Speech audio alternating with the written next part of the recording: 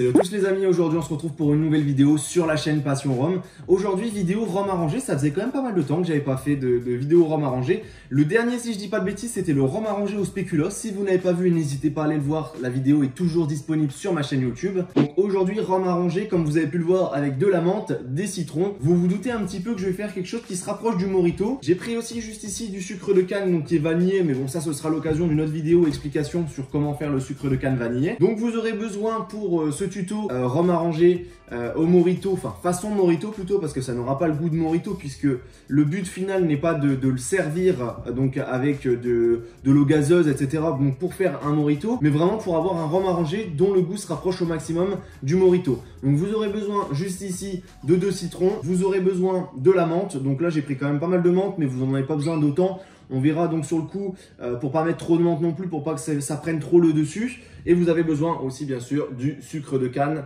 euh, juste ici. On est parti. Et l'essentiel, j'ai failli l'oublier, une bouteille 70 centilitres donc de, rhum. Donc moi j'utilise du Trois-Rivières encore une fois, euh, la cuvée spéciale 40 degrés. juste ici, vous pouvez utiliser un petit peu ce que vous voulez. J'ai déjà fait une vidéo où j'explique que chacun utilise euh, son rhum qu'il préfère. En tout cas, moi, ce sera le rhum utilisé pour la vidéo. On va commencer tout de suite par découper les citrons. Donc, on va juste garder les suprêmes de citron. Donc, en fait, il va falloir retirer toute la peau qui est juste ici et la partie qui est blanche en dessous de la peau. Donc, vous le découpez aux extrémités, comme ceci. Hop. De l'autre côté, pareil. Et vous avez juste, en fait, à, découper la, la peau de façon à garder... Alors, je vais vous montrer tout de suite à garder en fait la partie juste ici et ne pas garder cette partie blanche euh, qu'on voit euh, juste au-dessus. Donc je vais faire ça, je vais faire un petit accéléré ou une coupure pour pas que ça prenne trop de temps. Je vais pouvoir tout retirer et on passera ensuite euh, à la préparation du rhum arrangé.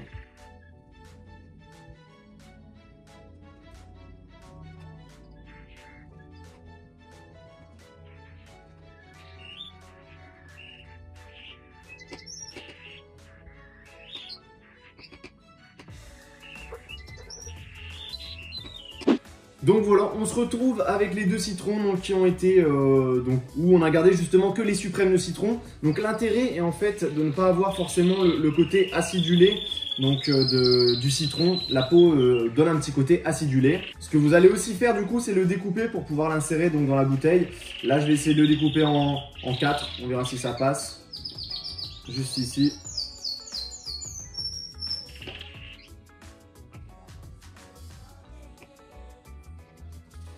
Voilà, c'est nickel. Vous allez du coup pouvoir insérer dans votre bouteille les 8 morceaux donc, de citron.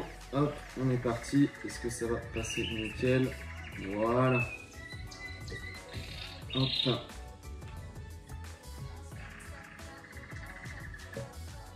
Heureusement que j'ai retiré un petit peu de rhum, j'ai oublié de le préciser, mais il faut retirer un petit peu de rhum pour que les morceaux puissent passer et qu'il y ait l'espace. Euh, Puisque là, comme vous pouvez voir, le niveau monte. Ah, le petit dernier. Voilà. Ça, c'est fait au niveau des citrons. Là, vous avez mis vos deux citrons dans la bouteille. Il va ensuite, falloir passer au niveau menthe. Donc, je vais essayer de trouver des belles feuilles tout de suite euh, avec vous. Alors, donc ici par exemple. Et vous allez prendre à peu près une dizaine de, de feuilles de menthe pour commencer. Donc, je vais les prendre tout de suite.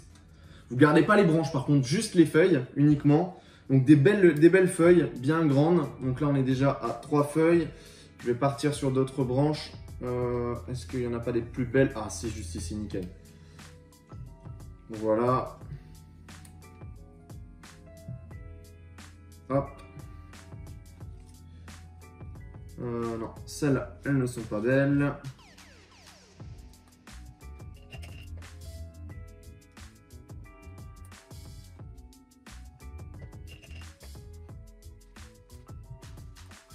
Donc voilà, là j'ai mis 13 feuilles de menthe à peu près. Donc après c'est à vous de voir euh, comment vous le sentez au niveau de la menthe, sachant que euh, il va peut-être falloir, euh, donc c'est un rhum arrangé qui va vite prendre le côté de la menthe, donc il va peut-être falloir entre temps le filtrer pour récupérer Euh, donc euh, les, feuilles de menthe, c'est un petit peu compliqué. Euh, si vous sentez que ça prend trop le côté menthe, il faudra peut-être le filtrer entre temps et garder uniquement donc les, les, suprêmes de citron. Donc c'est un, un, rhum que j'ai pas pu réaliser. D'habitude, je le fais dans les bocaux, comme vous l'avez déjà vu. Donc là, je le fais en bouteille, donc on verra bien. mais en tout cas, il y a des personnes qui disent que deux mois, c'est largement suffisant, la menthe ne prend pas trop le dessus, et des fois, ça le prend trop. Donc il faudrait, il faut vraiment surveiller au niveau donc de, de la macération c'est-à-dire goûter de temps en temps le rhum arrangé pour voir ce que ça donne, voir si la menthe ne, prend pas trop le dessus. Sinon, à la limite, vous le filtrez entre temps et vous remettez euh, juste les, suprêmes de citron. Il y a assez facilement moyen de récupérer donc la menthe en vidant tout et euh, même en récupérant donc euh, les, suprêmes de citron, en mettant de l'eau dans la bouteille, en vidant, en récupérant la menthe. De toute façon, il y a des tutos, enfin des tutos. Il n'y a pas forcément besoin de tutos justement, je voulais dire, pour vider une bouteille et pour pouvoir retirer la menthe. Mais voilà, c'est à surveiller. Donc là, on a vraiment fini pour la menthe, euh, pour les suprêmes de citron. Pour ce qui est du sucre, euh, vous allez mettre, euh, déjà pour commencer, 4 cuillères donc à café de sucre. Juste ici. Hop. Donc je vais essayer de pas trop mettre partout. J'ai pas d'entonnoir, comme d'habitude j'en ai. Mais là, j'en ai pas. Hop. 2.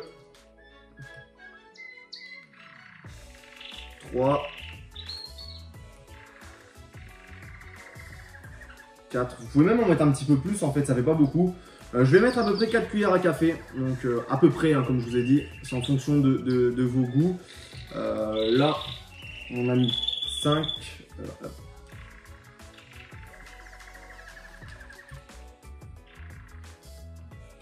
Bon voilà, ça fera 7, ce sera largement suffisant. Après, vous pouvez toujours le sucrer en plus, hein. c'est-à-dire que si vous sentez que c'est pas assez sucré à la fin de la macération, vous pouvez toujours rajouter du sucre. Donc là, je pense que ça devrait faire l'affaire. En tout cas, euh, au niveau de entre 6 et, 6 cuillères à café. Ou si vous comptez en cuillère à soupe, c'est 3 cuillères à, soupe, c'est très bien. 3 à 4 cuillères à soupe. Hop, je vais pouvoir remettre le bouchon. Donc là, c'est un petit peu chiant la technique que j'ai faite puisque c'est tout collant. Je vais chercher du sopalin pour nettoyer le, goulot et pour éviter que ce soit trop collant. Et j'arrive de suite. Hop, voilà. Au moins, je peux nettoyer un peu le goulot. Ce sera un petit peu moins le bordel. Je vais pouvoir fermer la bouteille et on va pouvoir la mélanger. Donc ça, c'est le petit final. Donc là, on a, on a le rendu final.